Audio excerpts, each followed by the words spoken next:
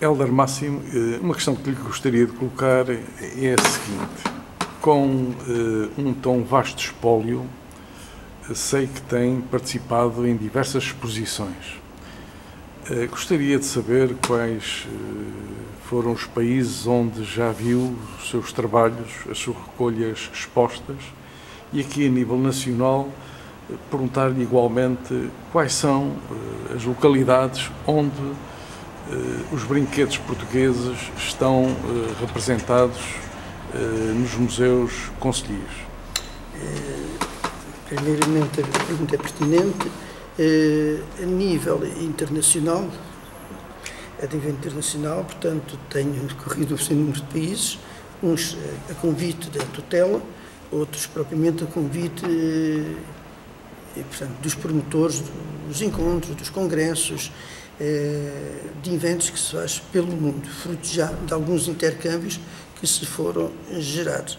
A deslocação, para mim, mais longínqua foi a Austrália, na altura com algum apoio logístico aqui da Câmara de Montijo, na, altura da doutora Perpétua Belinha.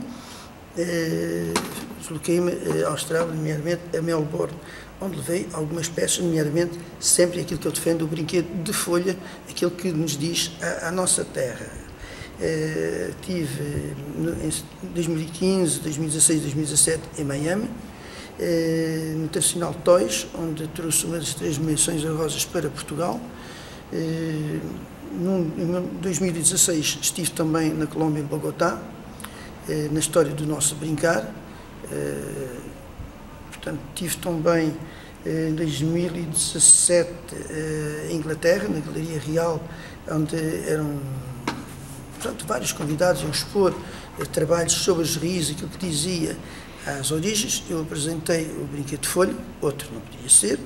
Uh, terei já aqui com outros que a nossa terra nesse aspecto era mais rica, que dizia há pouco, é um círculo que se vai, uh, que se vai aprofundando, vai explorando, embora a minha formação seja na área da saúde, mas pronto, estamos interligados.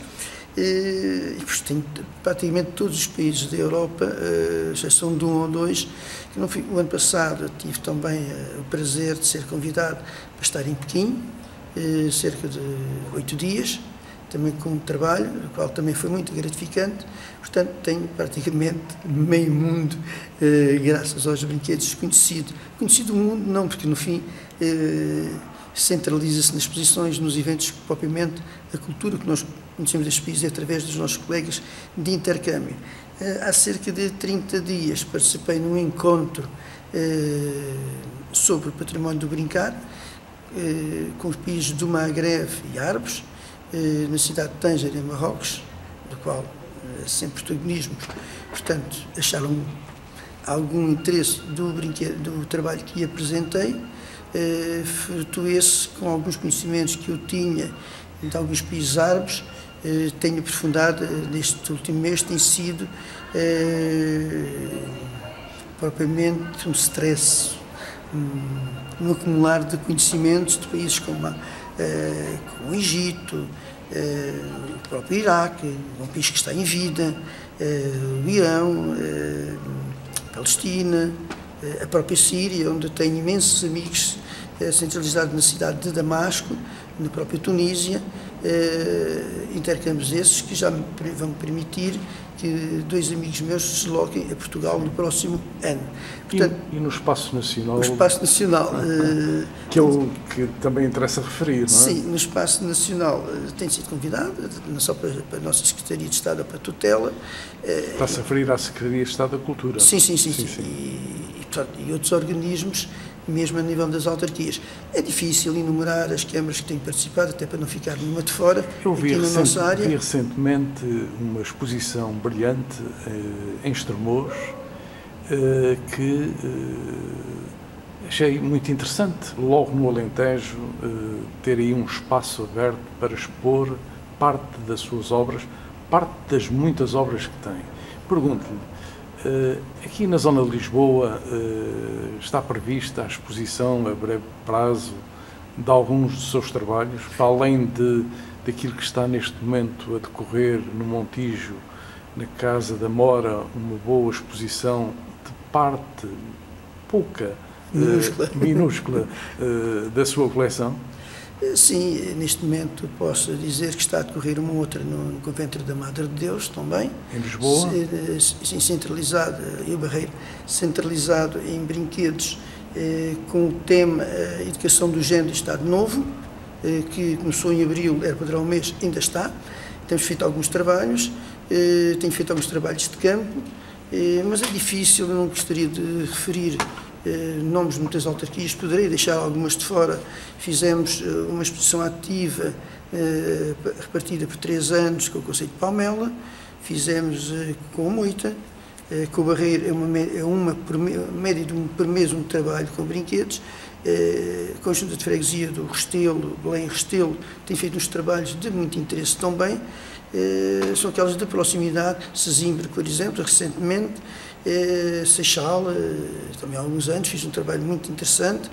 Eh, Setúbal, adivinha-se, também fiz com um acordo, ou melhor, a convite do Politécnico de Setúbal, um trabalho de pesquisa de, terreno, eh, com estudantes e com, com um grupo de docentes, um trabalho muito interessante sobre a indústria conserveira na, eh, na proximidade do brinquedo e para aquela rivalização entre o brinquedo de folha e o brinquedo de, de lata.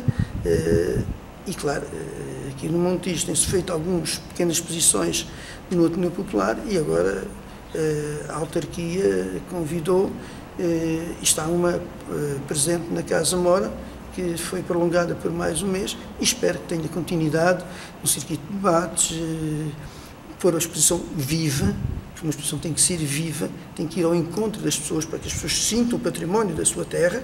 E penso penso digo, Palmela, Barreiro, Moita não tem parado, o Montijo está a disputar, ainda bem, esperamos que tenha continuidade e, e valorizar. No fim, é um património. Portanto, a sua principal preocupação, para além de, do colecionismo, é conservar este importante património, fazer o seu estudo e fazer a sua divulgação. Ou seja, a divulgação é uma das fases necessária para que eh, haja um olhar diferente sobre este património. Sim, sem, sem dúvida, porque é assim, nós temos que olhar para este património para que os naturais da terra, os naturais da área, se sintam rever-se num, num passado histórico, num passado que os valoriza e que hoje está a ser reconhecido. Porque quem nos diz, por exemplo, quem nos dizia, por exemplo, que nós eh, tínhamos dado um mote para o brinquedo e para a indústria do brinquedo continue, continuar, até continuar os dias de hoje e que está a ser valorizada, não só eh, internamente como exteriormente. Por isso, ela é muito valorizada no exterior. Nós temos que ver no Museu Hoffmann, em Frankfurt, eh, os nossos brinquedos estão em destaque num dos maiores e melhores e mais categorizados museus do mundo do brinquedo. Aqui a nível nacional, já agora que pegou eh, em Frankfurt, que museus neste momento eh, estão abertos com esta temática de brinquedo. brinquedo. É assim, a nível... O Sintra fechou, não é? Sim, o Sintra fechou por questões que não vou falar, Foi. que é do conhecimento público, nada tem a ver com o património dos brinquedos, mas uh, atualmente só existe em Portugal um único museu na rede nacional dos museus, museu oficial, que é o Museu de Ponte Lima, o Museu Lima. do Brinquedo de Ponte Lima.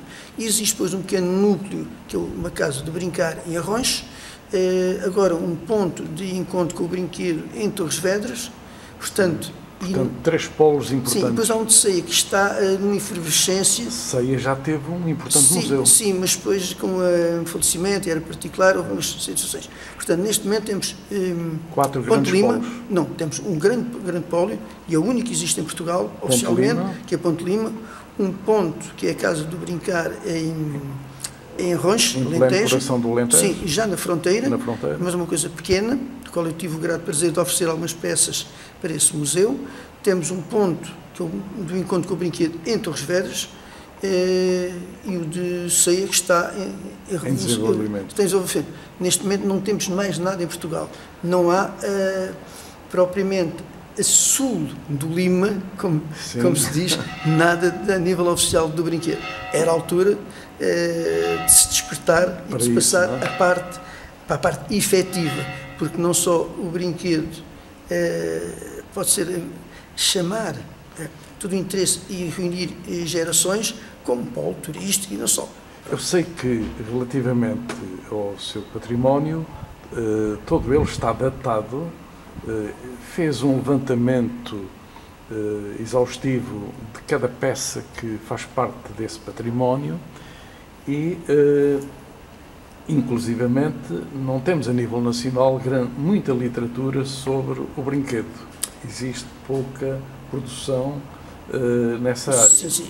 É, uma, é uma das guerras, entre aspas, que se portanto, falou agora recentemente no Congresso Nacional do Brinquedo que tornou na Universidade do Minho, Ponte Lima, falta literatura de suporte. Falta literatura, não é? Existe um pequeno livro do nosso saudoso Carlos Barroco, eh, já não está. Já faleceu. Já? É? faleceu. Existe depois um livro editado é, assim, aos 100 anos do desperto do brinquedo português, que se identificou nessa data, do, do amigo Carlos, eh, eh, que há pouco tempo até teve o grande prazer de Carlos Anjos, visitar aqui a exposição do Montijo, eh, e depois temos um trabalho de maior importância, eh, feito numa luz ou descendente francesa, pelo Ministério da Cultura francês. É o grande livro que fala um pouco sobre, sobre o nosso, nosso brincar depois não há mais nada. É possível, qualquer dia apareça alguma coisa de algum aldeano, apareça, mas isso está muito. É, provavelmente está o muito, amigo Helder máximo será, digamos... Os meus antepassados, os meus futuros, é, para deixar-me como antepassado, que o ponham no exterior. É esse sim, trabalho que estão a fazer. Sim. Penso que a própria tutela em si, não governamental, devia de olhar para esse brinquedo. Sei que há muitas vontades, mas passar à prática um trabalho bibliográfico sobre o brinquedo eh, não existe. Eu penso que o amigo Helder Máximo ainda vai ser, eh, para além de colecionador, vai dedicar algum do seu tempo à edição de um livro sobre esse vasto património que possui. Eh, provavelmente a tutela, as autarquias têm aqui um papel muito importante de ajuda eh, na divulgação e no apoio, porque tudo isso requer eh, apoio não só logístico, mas apoio até em termos de incentivar esse tipo de trabalho.